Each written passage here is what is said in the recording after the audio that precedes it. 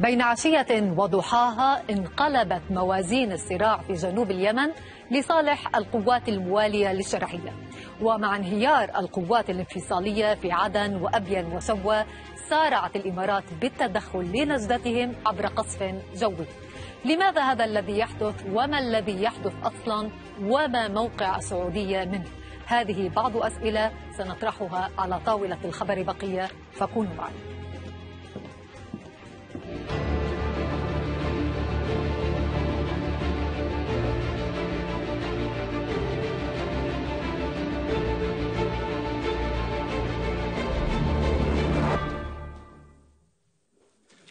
أهلا بكم.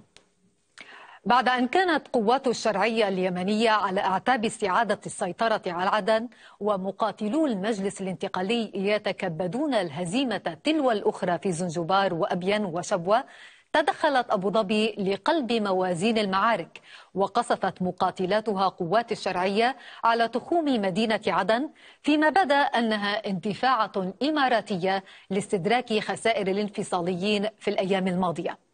هذا التحول السريع في مسارات المعارك يقابله غموض متزايد وشكوك متعاظمة بشأن موقف الرياض من كل ما يجري. وهنا نتساءل عن دلالات هذا التصعيد الإماراتي وعن حقيقة الموقف السعودي من هذه التطورات المفاجئة وخيارات الشرعية التي يحال بينها وبين استعادة سلطة قرارها في الجنوب. في الجنوب اليمني يلتبس الحد الفاصل بين الهزيمة والنصر ويظهر حد التناقض بين الحليف والخصم أيضا. فما كاد يمكن لقوات الشرعية من جديد حتى أنجد قصف إماراتي قوات المجلس الانتقالي المتداعية على تخوم عدن. والجيش اليمني القتيل بحمم غارات أحد شركاء التحالف يقول يمنيون إنه هوجم والرياض ناظرة تراقب أجواء هي المستأمنة عليها. والسيطرة على تحركات صمت المملكة لا يعني بالنسبة لهؤلاء إلا التواطؤ وتدبير المكيدة فكلما خيضت معركة تكشفت بعض من خبايا النوايا فيما أبو ظبي مندفعة لعون المنقلبين دون حرج. في ظن بعض اليمنيين أجازت المملكة للشرعية رد الانفصاليين في شبوة لأن لها هناك مطمعا ونفوذ ومنعت عنها انتزاع ما سلب منها في عدن لأن لها هناك أيضا حسابات وتسويات. وينتهي القائلون بهذا الطرح إلا أن قسمة السيطرة على عدن أو حتى تغلب الانفصاليين فيها مخرج سالك ستساق معه الشرعية مكرهة إلى طاولات تفاوض نودي إليها في الرياض. ويستحيل معه المجلس الانتقالي طرفا يحاور ويشاور. وقد صار الميل للتفاوض رغبة أمريكية صريحة. لكن الوقائع تظل حائرة لها أكثر من تفسير. والأسئلة معلقة باحثة عن أجوبة. فهناك أيضا ظن يستقر بأن الرياض وأبو ظبي قد افترقت طرقهما لكل مشروع وغاية فاختارت الإمارات أن تقدم أطماعها غير عابئة بتحالف هش تملأه الشروخ من كل صوب واندفعت دون قيد تقصف ولا تواري عونها للمنقلبين وقد صارت خصيما للشرعية في الجنوب. أما الشرعية رغم خطابها المحتد ضد أبو ظبي صانعة الانقلاب ورغم وعيدها بطلب تدخل دولي فقد عادت من جديد لتحشر في زاوية ضيقة مكبلة بحسابات الهيمنة تائهة بين شواغل التفاهمات لا تملك إلا أن تمضي في معركة صارت لها معركة وجود. وينضم إلينا من نيويورك أحمد الصالح مدير مركز عدن للدراسات والعلاقات الدولية. ومن الكويت الدكتور فهد المقراد أستاذ العلاقات الدولية. وينضم إلينا عبر الهاتف مختار الرحبي وكيل وزارة الإعلام اليمني. أهلا بكم ضيوف الكرام وأبدأ معك سيد أحمد الصالح في نيويورك. هل لديك لتفسير لما حدث ويحدث أصلا حاليا في الساعات الأربع والعشرين الماضية؟ أمس تنهار قوات الحزام الأمني واليوم تسرع الإمارات للتدخل بطائراتها الحربية وتقصف جويا القوات الموالية للحكومة. في البداية مساء الخير وشكرا جزيلا على الاستضافة. في الحقيقة أنه ما حصل بالأمس أنه هناك حصل آه، يعني انتصار وهمي في وسائل الإعلام ولدى بعض المغردين بأنهم سيطروا على ثلاث محافظات في غمضة عين أبين وعدن ولحج. ولكن في الحقيقة آه، لم يكن هناك شيء من هذا الأمر على الإطلاق. تقدمت بعض فلول من قواتهم في محافظة أبين وحركوا بعض الخلايا من داخل المحافظة من داخل العاصمة عدن في أطرافها في خور مكسر وبالقرب من المطار ثم اختفوا في لحظات بعد أن آه، يعني بسطت القوات الجنوبية سيطرتها يوم أمس على كافة الأراضي في العاصمة عدن يعني اسمح لي بالمقاطعة هنا سيد الصالح. إذا كانت تلك الأخبار غير صحيحة وهي بالمناسبة أخبار موثقة بصور لماذا تسارع الإمارات الآن إلى التدخل العسكري المباشر لنجدة قوات الحزام الأمني؟ دعيني أكمل لو تكرمتي وأعطيني وقت حتى أشرح هذه النقطة. القصة مثل ما قلت لك يعني لم يكن هناك انتصارات حقيقية كانت انتصارات وهمية على وسائل الإعلام وإلا لو كانت حقيقة كيف خرجوا من عدن؟ القصف الذي حصل أولا نحن نريد أن نؤكد بأن التحالف هو كله لا يتجزأ. لا يوجد طيران سعودي أو طيران إماراتي. غرفة العمليات للطيران وتحقيق وتحديد الأهداف هي غرفة عمليات مشتركة في الرياض. وتدار من هناك ولا يوجد هناك طيران سعودي أو إماراتي. يوجد طيران للتحالف هو من يحدد الأهداف وهو من يستهدفها. وبالتالي لا نستطيع أن نقول بأن الدولة تتحمل مسؤولية هنا هناك. منذ لكن منذ لكن سيد صالح هذا يعني يعارض يعني ما قالته حكومة هادي وهي أكدت تعرض قواتها لقصف إماراتي. هي قالت أنها اشتكت الإمارات إلى مجلس الأمن الدولي ولم تقل أنها اشتكت التحالف هي تقول ما تريد لأنها لا تستطيع أن تقول بأن التحالف استهدفها. لا لا تملك الجرأة ولا القوة ولا تستطيع أن تقول ذلك على الإطلاق. لكن دعيني أقول لك ما حصل. التحالف منذ اندلاع هذه الأزمة يستهدف كل يوم. منذ انطلقت هذه الأزمة انخرطت مجموعات القاعدة وداعش ضمن مجموعات وجماعات مسلحة تتبع للشرعية وبالتالي صارت معها في نفس الخندق. منذ أول يوم لهذه المعارك كان طيران التحالف يضرب كل يوم ضرب في شبوة عدة مرات وضرب في أبين وضرب في عدن وضرب في لحج. وضربة اليوم أيضا استهدفت من استه... تم استهداف منها جماعات متطرفة تتبع داعش والقاعدة. انخرط بعض جماعات الحكومة الشرعية تحت مظلة هذه القوات وبالتالي يجب عليهم أن يتحملوا المسؤولية. نحن نحارب الإرهاب صالح لو كانت معركة الإمارات مع المجتمع الدولي يرفض الإرهاب مهما كان لو كانت معركة الإمارات مع المتطرفين لما اتخذت حكومة هذه هذا الموقف من الإمارات. القصف جاء على قوات الموالية للشرعية وليس على المتطرفين. على الإطلاق قوات الشرعية كانت تحتك وتختلط بجماعات متطرفة وإرهابية. وبالتالي حصل القصف على هذه الجماعات. إن وجد بعض الجنود تابعين للشرعية ضمن هؤلاء فيجب عليهم أن يتحملوا المسؤولية. هذه حرب لا هواد فيها ضد الإرهاب والتطرف وكان الخطاب الأمريكي يوم أمس واضح وخطاب الأمم المتحدة أيضا واضح. ما حصل أيضا يجب أن يؤكد على بأنه القوات ما ليس ليس أنت أو أبو ظبي الجهة المخولة لتحديد هوية الشرعية.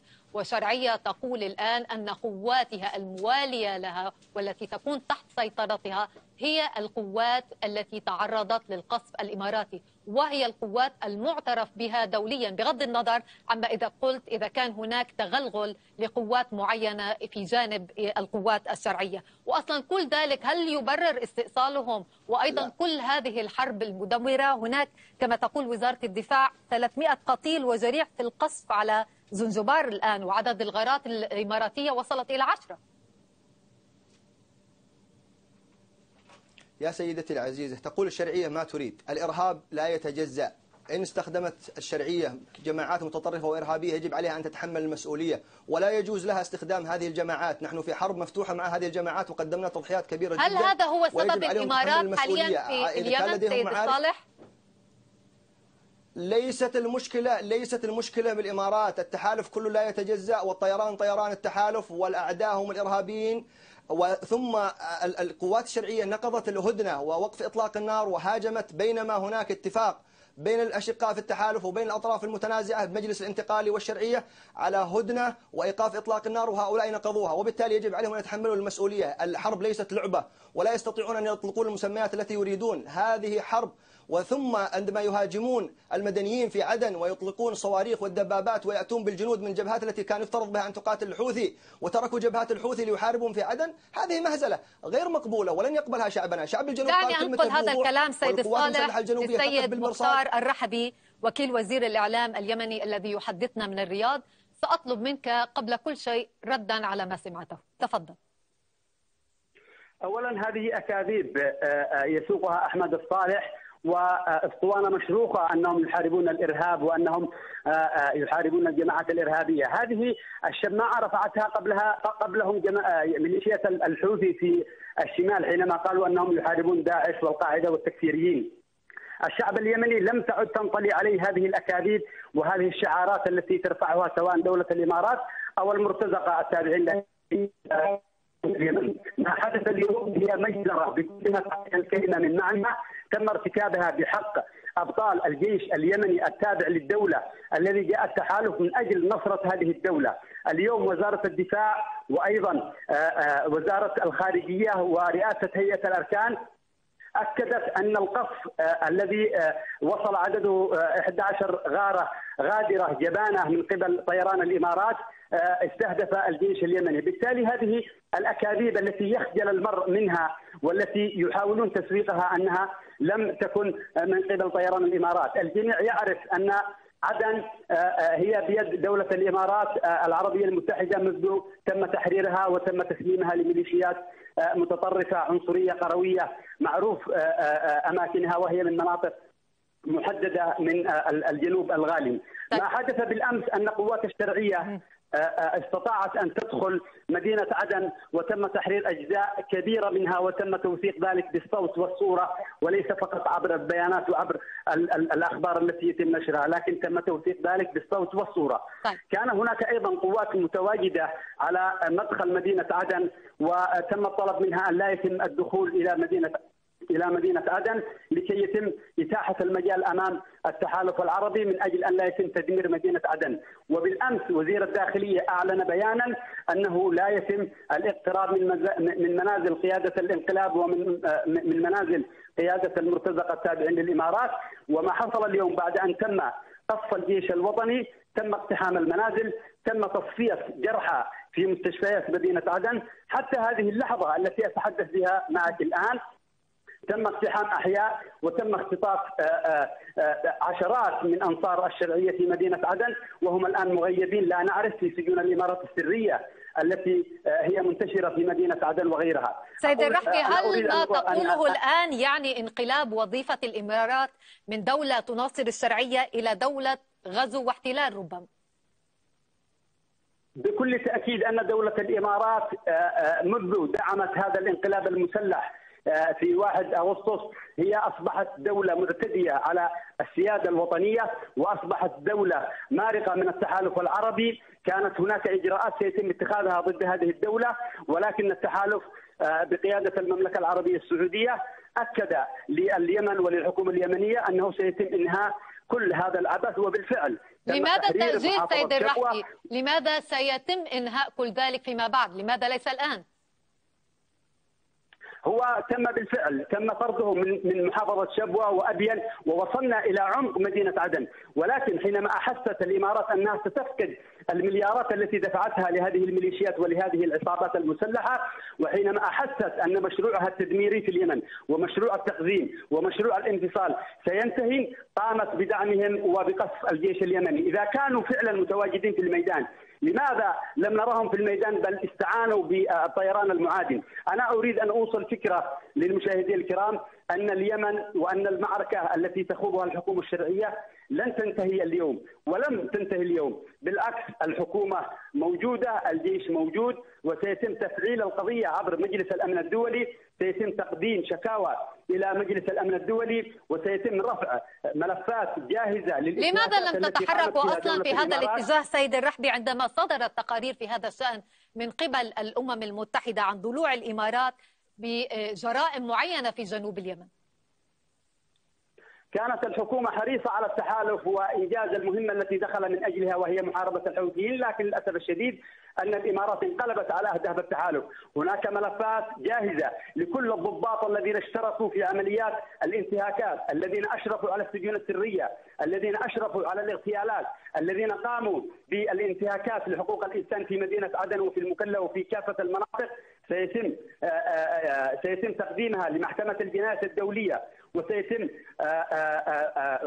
يعني بعد أن يتم تقديم هذه الملفات سيتم ملاحقة كل القيادات العسكرية العليا والصغرى وكل من أشرف وملاحقتهم كمجرمي حرب ارتكبوا طيب. جرائم ضد الشعب اليمني واخترقوا السيادة.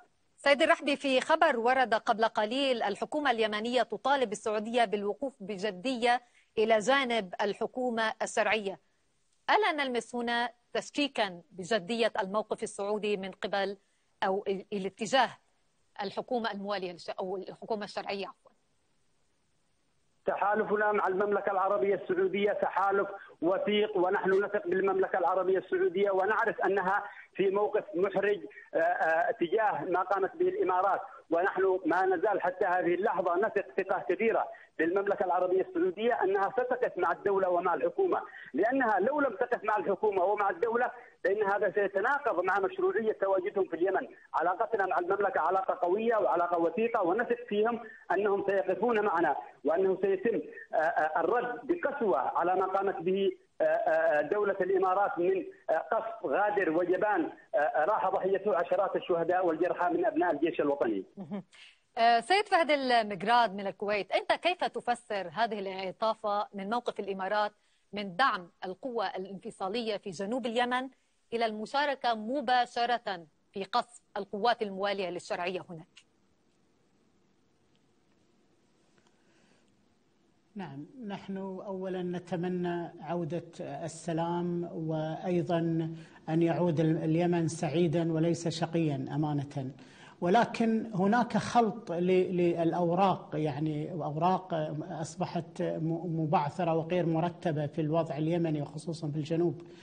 أنا أعتقد أن المنظمة الدولية يعني قد أخلت في في واجبها الأمني تجاه اليمن، هناك سكوت من المنظمة الدولية، هناك عدم تدخل مباشر من الدول دائمة العضوية في مجلس الأمن.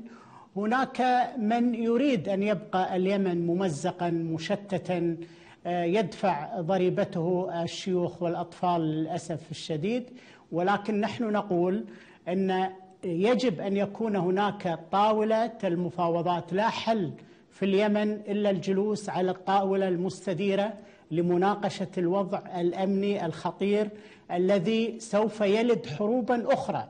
يعني نحن أمام حرب تلد حرب أخرى. في السابق كان ميناء الحديدة المنظمة الدولية تدخلت نوعا ما. هناك هدوء في ميناء الحديدة في في اليمن الشمالي وبالتالي أصبح هناك تركيز على اليمن الجنوبي وهناك تدخلات منظمات حزبية منها ما هو خفي وأجندات خفية. وأيضا هناك عدم آه، آه، التزام بالشرعية التي انطلقت آه، لتخاطب المنظمة الدولية لأنه وهنا نحن أمام أحزاب بما فيها الحوثي الحوثي أيضا حزب سياسي عن الاتهامات و... نعم. التي وردت على ألسن مصادر نعم. حكومية يمينية يمنية عفوا للسعودية بأنها نسقت مع أبو ظبي في توجيه الضربات التي شنتها الطائرات الإماراتية على الجنوب مضى على حرب اليمن أكثر من خمس سنوات وحتى هذه اللحظة لم يكن للمنظمة الدولية أي دور مهم ومحوري ومفصلي تجاه اليمن. أسألك سيد المكتاد عن مدى توافق الإماراتي السعودي الدول الكبرى. آه، طبعا في توافق. لم ينفي الإمارات ولم تنفي المملكة العربية السعودية أن مظلة الشرعية هي قائمة إلا أن يكون صدور بيان معين من الحكومتين ولكن آه، في ظل هذه الأوضاع هم ملتفين يعني مع الوضع اليمني في الشمال وكذلك في الجنوب إلا أن خروج قطار الجنوب عن مساره الصحيح قد ولد هذه الزوبعات وقد ولد هذه الحرب الداخلية أيضا في اليمن الجنوبي. تخمد نار وترتفع نار أخرى في الشطر الجنوبي. لذلك أنا أعتقد ولكن الآن هناك الآن محاولات إخفاء لهذا التوافق سيد فهد السابع وهناك محاولات في للتمويه على هذا التوافق السعودي. إذا كان الإماراتي أيضا. إذا كان للإمارات أطماع في موانئ وثروات اليمن. بس ما هي مصلحة السعودية أين في ذلك؟ أين البند أين البند السابع؟ أين أين البند السابع؟ أين البند السابع؟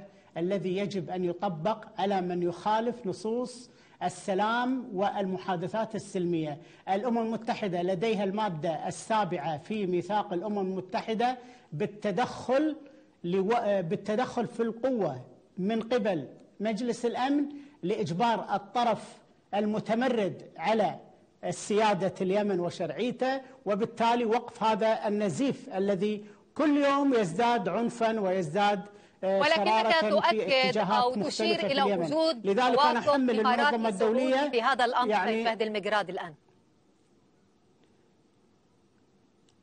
نعم نعم. هناك توافق ولكن لم يصدر أي بيان إلا إذا صدر بيان من الإمارات بأنه طيب.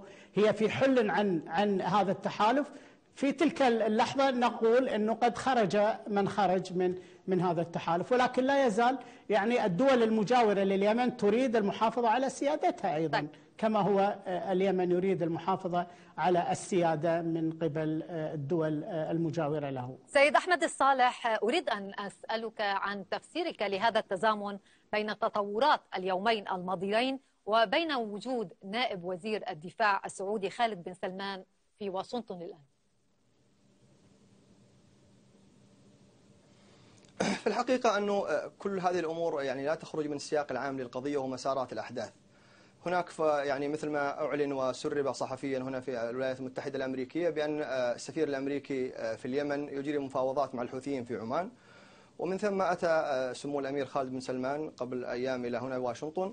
والتقى بالأمس وزير الخارجية واليوم التقى وزير الدفاع. الحديث كان كل مجمل حديثهم حول الشأن اليمني. العالم مهتم في مكافحة الإرهاب ولا يهتم في إعادة الشرعية في الأساس. يعني مكافحة الإرهاب هي الأولوية الأولى لأن الشرعية تستطيع أن تخلق شرعية و100 شرعية. لكن إذا سيطر الإرهاب على هذه المنطقة من العالم وعلى خطوط الملاحة الدولية وعلى الموانئ وعلى كل هذه الأمور بعد مشكلة مضيق هرمز فالعالم سيدخل في مشكلة. وبالتالي مشكلة الشرعية صغيرة جدا أمام مشكلة مكافحة الإرهاب التي تعمل على ذلك دول التحالف بالشراكة مع القوات الجنوبية المسلحة ممثلة بالمجلس الانتقالي والأحزاب الأمنية والنخب هل هذه وقد أثبتت فعلا يمكن أن تكون مناسبة الآن أم أنه ربما تحول إلى تخالف بحسب النحت اللغوي بالحقيقة الذي أقتبسه هنا من أحد أصحاب الرأي على موقع تويتر؟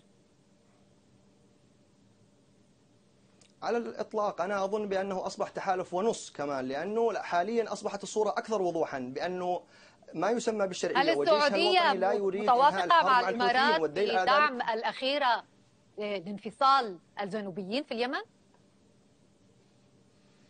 لا أحد يتحدث عن الانفصال حاليا في هذه المرحلة بما فيهم القوى الجنوبية التي تدعو لاستعادة الدولة الجنوبية الآن نتحدث عن شراكة سياسية حقيقية والعودة إلى مفاوضات الحوار وإنهاء المد الإيراني والحوثي لكن الحكومة الشرعية ترفض هذا الأمر رفضت الحوار لا تريد. ذهبت تفاوض الحوثي في كل مكان ورفضت تفاوض الجنوبي الذين يسيطرون على الأرض. وبالتالي دول التحالف ليست مثل ما قال بوتين يعني رجل إطفاء أو مركز شرطة. كل ما حصلت مشكلة استدعوها. الشرعية نفسها رخوة وهلامية وضعيفة وبالتالي لا, تست... لا تملك شيء. ما هي إمكانيات هذه الشرعية؟ أثبتت كل الوقائع. والتجارب في خمس سنوات مضت بأنها لا تمتلك أي شيء لا حاضنة ولا قبول شعبي ولولا أن السعودية تحاول أن تحافظ عليها في الحد الأدنى منها لسقطت منذ منذ سنوات طويلة فبالتالي الأمر بسيط جدا يعودون تنسحب هذه القوات التي دخلت من مأرب ومن المناطق الشمالية تعود إلى مناطقها وثكناتها ثم العودة إلى حوار جدة دون دون شروط وبسقف مفتوح ومن ثم نستطيع إعادة شرعنة هذه ما تسمى الشرعية مرة أخرى وصياغتها بالشكل الصحيح الذي يتناسب مع مخرجات الحرب مع الواقع والعودة لحربنا ضد ميليشيات طيب. إيران والحوثي نعم. والوقوف بيد من حديد ضد الميليشيات المتطرفة والإرهابية. سيد مختار الرحبي كما سمعت أنتم رفضتم الحوار. أكثر من ذلك وزير الخارجية الأمريكي مايك بومبيو ونائب وزير الدفاع السعودي خالد بن سلمان أعلنا أن الحوار هو السبيل الوحيد للحفاظ على استقرار اليمن ووحدة أراضيه. إلى أي حد تعتقد أن هذا الموقف فعلا موقف جدي ويمكن فعلا تنفيذه على الأرض؟ سيدتي العزيزة كيف لنا أن نتحاور وهم يحتلون مراكز الدولة؟ كيف لنا أن نذهب للحوار معهم وهم حتى هذه اللحظة يرفضوا تسليم المعسكرات وتسليم المناطق؟ كيف لنا أن نذهب إلى حوار وكان بيان التحالف العربي الذي صدر في وقت سابق يشترط أن تقوم الميليشيات المحتلة الانقلابية بالانسحاب وتسليم كافة المناطق للدولة؟ بالتالي عن أي حوار نذهب إلى إليه؟ نذهب وهو بيده الدبابة نذهب وهو بيده المدرعة الإماراتية ليقتلني والتي قتلنا بها. هذا كلام هراء وهذا لا يمكن القبول به والحكومة ترفض هذه هذا الحوار الذي يريد أن يشرعن لهذه الميليشيات المناطقية العنصرية، نحن نقول سنذهب للحوار في حال تم تسليم كافة المناطق وكافة المؤسسات التي احتلوها، وإذا تم تسليم الأسلحة الثقيلة التي هي بيد هذه الميليشيات سنذهب للحوار، ليس لدينا مشكلة من الحوار، فخامة رئيس الجمهورية هو رجل الحوار وهو الذي دعا أكثر من مرة للحوار. ورئيس الجمهورية هو جنوبي لم يقبلوا به وهو جنوبي. أكثر المسؤولين اليوم في الدولة وفي الحكومة اليمنية هم جنوبيون. طيب. اليوم من يقاتل في مدينة عدن هم ألوية رئاسية جنوبية. من قاتلهم في شبوه هم جنوبيون يريدون أن يصوروا المعركة أنها معركة بين الشمال والجنوب وهذا غير صحيح وغير دقيق. من يقاتل اليوم هم ماذا عن سياقات أخرى ممكن أن تحصل سيد الرحبي؟ وهنا أوجه سؤال للسيد فهد المقراد ماذا سيكون في وسع هادي أن يفعل لو تيقن فعلا من التواطؤ السعودي مع الإمارات في مشاريع تقسيم اليمن والسيطرة على الجنوب؟ اولا نحن نأسف يعني على القتال الجنوبي جنوبي أو الشمالي شمالي أو حتى الشمالي جنوبي، اليمن الموحد العزيز المقتدر آه، الدولة القومية العربية التي هي عضو في الجامعة العربية لا نقبل تدخلات من خارج الأقطار العربية لا نقبل طب الآن خارج الرئيس الجامعة هادي العربية. ماذا يمكن له أن أن يفعل سيد فهد ميثاق؟ عربي وتط... نعم هو يستطيع أن يفعل من خلال مخاطبة المنظمة الدولية بتطبيق البند السابع في فرض من لا يحترم الهدنة أو لا يحترم آه، سيادة اليمن بتطبيق آه، يعني الضربة الجوية الأممية التي تحث عليها آه، بنود مجلس الأمن وخصوصا البند السابع أن من يرفض الانصياع لسيادة الدولة يجب أن يجبر وبالتالي تستخدم القوة طيب. آه، المقتدرة من قبل نعم. المنظمة الدولية من خلال أعضاء مجلس الأمن ومن ثم استخدام القوة الإلزامية شكراً. الضرورية لإيقاف هذا النزيف اليمني بدون تطبيق البند السابع لا يمكن أن ترجع اليمن كما كانت شكرا جزيلا لك فهد المقراد أستاذ العلاقات الدولية من الكويت والشكر لأحمد صالح مدير مركز عدن للدراسات والعلاقات الدولية من نيويورك وشكرا لمختار الرحبي وكيل وزير الإعلام اليمني والشكر موصول لكم مشاهدين على المتابعة. تحية طيبة وإلى اللقاء.